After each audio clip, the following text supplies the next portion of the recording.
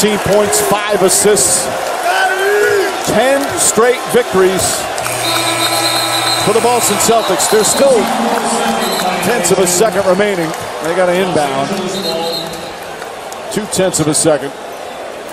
So the Celtics, who lose their first two games of the season, lose Gordon Hayward for the year, have bounced back and have now won 10 straight. Still the best record in the NBA at 10 and 2. Meanwhile, the Lakers' two-game winning streak comes to an end. They start their four-game road.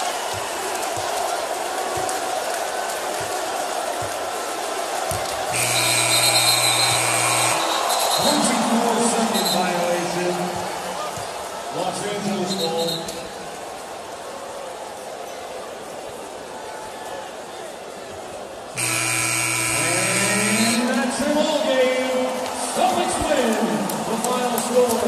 Boston Celtics 107 and the Los Angeles Lakers 96.